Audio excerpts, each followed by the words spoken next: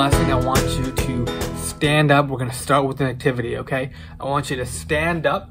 Um, you need some space, so make sure that the area is clean, that there's no uh, toys around or anything like that. And I want you to stand up, and um, you don't need to stand up on anything, just stand up on the ground.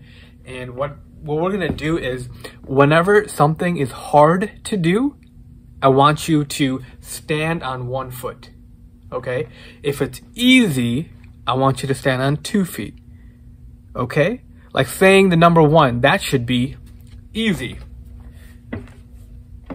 Doing long division, math problems sometimes, that could be hard. Okay? You get the activity? So I hope you have some uh, room and we're going to start the activity now. Uh, stand up um, and be on your feet if it's easy. If it's hard to do, I want you to be on one foot, okay? And make sure you're not standing on anything. Make sure you're standing on the ground. Here we go. All right, this is our base. Everything's good now. All right, eating ice cream. I hope everybody's standing on two feet on that one. That one is super easy. How about cleaning the entire house? That can be pretty hard. All right, reset. How about uh, playing with your best friend? That one's probably another easy one, right? How about making dinner all by yourself from scratch? that can be a little bit hard. All right, let's reset. How about uh, waking up in the morning? That can be hard for me sometimes. Is it hard for you? All right. How about going to bed at night? Is that easy or hard? Okay. What about eating your favorite food? Okay. How about eating your least favorite food? That can be hard sometimes. I'm on one foot. Are you? Okay, you guys get it? All right, how about this? How about sharing your favorite toy? Is that hard or easy for you? Okay. How about this? How about giving away your favorite toy? What about giving your favorite toy away? Is that hard or easy. That should be hard for everybody. I'm on one foot. Right, giving away your favorite toys is really hard. And today's lesson, uh, we'll learn about Abraham and Isaac. Right, Abraham was the father, and Isaac was the son. And Abraham was asked to give away something that was really, really, really hard. And he did in order to be obedient to God. But there's more. Ready for the lesson? Let's go.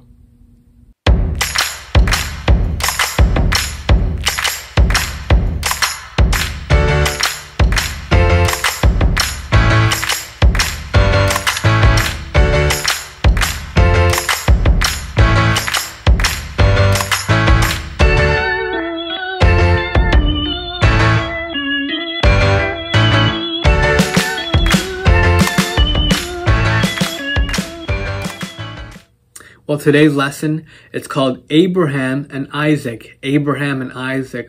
Last week we talked about a little bit about who Abraham was and how God made a promise to Abraham. Right? God made a promise to Abraham and God was faithful because we can trust in God. And today we'll talk a little bit more about who Abraham is and uh, who Isaac was. And today's lesson is from Genesis chapter 22. Uh, if you haven't uh, read that already, go ahead and read Genesis uh, chapter 22. Go ahead and press pause so you can read the rest of the, uh, the chapter. Uh, and like I said, each week, every time you memorize a verse and send it to me, I will send you something from that chapter, some from that lesson. For example, you know, in the beginning we talked about how God created the world. That's the first um, Bible card that you can have, and you can collect them all, right? Then we talked about how God created people. And then we uh, talked about how uh, sin entered the world. Right? And that's when uh, uh, people disobeyed God, Adam and Eve disobeyed God, and uh, bad things happened because of that. Then we talked about the Tower of Babel. Right? Remember when I climbed the tower that we had here in our gym? And then we talked about Noah and the ark. Right? And on each of these cards that you can collect on the back of it, you know, it tells you the big idea, the lesson recap, things that we've been talking about. So happy to mail that out to you uh, if you do that. But uh, we've been in Genesis so far and we'll continue to study in Genesis. And this is the story of Abraham and Isaac. Right? God kept his promise to give Abraham a son. And Abraham and his wife, Sarah, they were very old when their son Isaac was born. And one day, uh, God tested Abraham. God wanted to make sure Abraham loved God most of all. I'm sure you guys love something most of all. And God wanted to make sure that Abraham loved God most of all. Abraham, God said. Here I am, Abraham answered. Take your son Isaac to the mountain and give him to me as a sacrifice, God said. And sacrifice means to give something up. Remember the beginning of our activity? How hard would it be to give up your favorite toy? Right? If your parent asked you to give it up as a sacrifice, it would be a hard thing to do. And sacrifice means to give it up. And God is asking Abraham to take his son to the mountain and give his son to God as a sacrifice. And that's really hard to do. But Abraham obeyed God. He got up early the next day and left with Isaac, two servants, and a donkey carrying supplies. And they walked for three days before they got to the mountain where God wanted Abraham to make the sacrifice. Can you imagine walking for three days and what Abraham was thinking?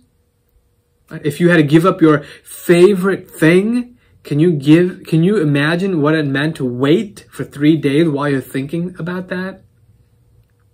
And Abraham asked his uh, servants to stay with the donkey, and he and Isaac, his son, went up to the mountain with the supplies for the sacrifice.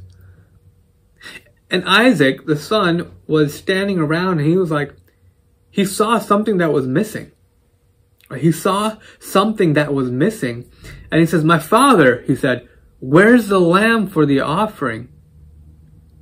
You see, the, there had to be something to sacrifice. And Isaac was asking Abraham, his dad, where's the thing that we're supposed to give up? Where's the sacrifice that we're giving to God? There was no animal. Usually it was a, an animal that was sacrificed. And Abraham answered, God himself will provide the lamb. Can you say that with me? God himself will provide the lamb. God himself will provide the lamb. That's an important part of the story that I don't want you to forget. God himself will provide the lamb. And when they got to the place God had directed them, Abraham uh, built an altar and placed the wood on top. Right? He built a, a, a little um, place of worship to God, for God. And then he put Isaac on top of the wood. Usually the animal is put there. But this time, Abraham put Isaac, his son, that's a really hard thing that Abraham did. Abraham was about to sacrifice his son Isaac. And just as Abraham was about to sacrifice Isaac, meaning just as Abraham was about to say bye to Isaac forever, the angel of the Lord, an angel came and said, called out and yelled out, Abraham, Abraham. And Abraham stopped. He said, Here I am. And the angel of the Lord said, Do not lay a hand on that boy or do anything to him. For now I know that you fear God, since you have not withheld your only son from me. Abraham looked up and saw a ram. That's a type of animal, like a ram. Uh, trapped by its horns in the bushes. He offered to God the ram instead of Isaac. And Abraham named that place, that mountain that he was at, he named that place, the Lord will provide. Right? Imagine if you were asked to um, sacrifice your favorite toy, but in this context, it wasn't a toy, it was a person. It'd be so hard to give up a sibling, a parent, someone that you love, your teacher, your aunt or your uncle. It'd be hard to do that. And right when Abraham was about to say bye to Isaac, God stopped him and offered a ram, offered this other sacrifice. And the angel of the Lord reminded Abraham that God would keep the covenant he made with Abraham right? God again promised to bless Abraham, to make his family as numerous as all the stars in the sky and the sand on the seashores. And God promised victory over Abraham's enemies and blessings to all the earth through Abraham's family. Wow. Well, you might be thinking at this point after hearing that story, that sounds so hard. But let's review our big question, right? Why can we trust God? Why can we trust God? And the answer is we can trust God because He is faithful and does everything for His glory and our good. Right? We can trust God because He is faithful, meaning if God says something, He will do it. If God promises something, He will do it. He won't change His mind. If God says that He will be there for you, He will be there for you. But that means that even when God's plans don't make sense to us, we can trust that things will work out the right way when we obey Him. It's important to remember this because what we think is best is not always what God knows is best for us. God's plans are always better than ours. Or sometimes I'm, I'm sure that you might be told something from a parent that you don't understand. They might say, don't do this and do that. Right? Sometimes the plan doesn't make sense. But you know that they are doing it for your good. And they, if you listen to them, you know that it, they're looking out for your best and see with God. See, God is our good Father in heaven. And He knows what is best for us all the time. It might be hard things, it might be sad things, definitely will be happy things. But God's plans are always better than ours. Right? So why can we trust God? He is faithful. Right? He is faithful. And I can't Imagine being asked to sacrifice someone that I know like that. And during those days, uh, offering a sacrifice, meaning to give something up, was a way to show that you love and trust God. Right? Sometimes a sacrifice would be a grain or oil, but often it meant killing an animal. See, when God asked Abraham to Uh, offer Isaac, it was a very difficult test to see if Abraham trusted God completely. You see, God had already made a covenant with Abraham, right? God made a promise with Abraham. And God had promised Abraham a large family. And Abraham had to wait so many years for a son, and giving Isaac up would have been especially difficult and scary. Have you waited for something for so long? Maybe it's a toy. Maybe it's a treat. Are you waiting for something now? Maybe to see someone or go back to school one of these days. But Abraham showed that he would obey God no matter what God had commanded. See, Abraham trusted God even when he did not understand God's plan. He trusted God even when he did not understand God's plan. And we can get a glimpse, we can see how much Abraham trusted God by what he said to his servants and to how he answered Isaac's question about the lamb. But Abraham asked his servants to stay with the donkey. But the Bible tells us that he said, the boy and I will go over there to worship, then we'll come back. And he told Isaac, God himself will provide the lamb. They went up not really having an animal with them because they said to keep the donkey there. They didn't have an animal to sacrifice, to give up. They didn't have anything to give up. But Abraham probably did not know that he was going to, what was going to happen on the mountaintop, right? But he knew that God would keep his promise one way or the other. And God, God did not want Abraham to hurt his son. That's not the point of the story. But God stopped Abraham and provided a ram to be the sacrifice. God didn't want Isaac to be killed and, and God didn't want Abraham to be sad. And so God provided an animal, a ram, to be the sacrifice. And God provided a way for Isaac to be saved.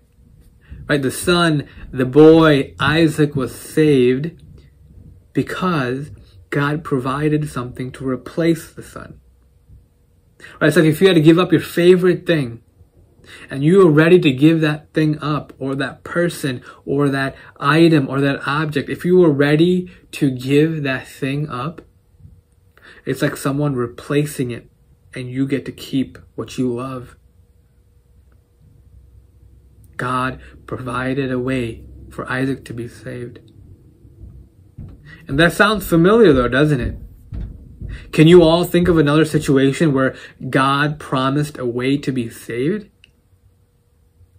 Yeah, he sent Jesus. He sent Jesus so that we may be saved. Right? Abraham showed his love for God by being willing to sacrifice his son Isaac. And God provided a ram instead. And this is how God showed his love for us. He sent his son Jesus to die on the cross so that we could have eternal life through him. See, Jesus came and made a way for us, just like how God made a way for Abraham and Isaac. And each of us deserves punishment and death because of the sin in our lives. But God loves us, and even in our sin. God does not want us to die and be separated from Him. No, that's not what God wants. And that's why God sent Jesus to take our sins. Jesus became that sacrifice. So Jesus died on the cross. But this sacrifice, He rose again on the third day.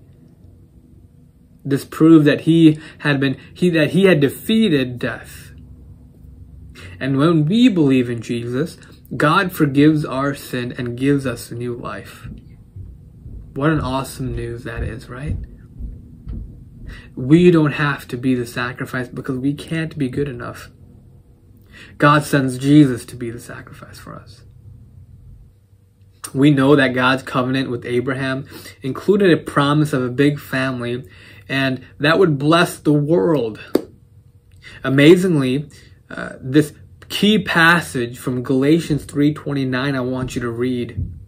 It teaches us that when we believe in Jesus, we are included in that promise.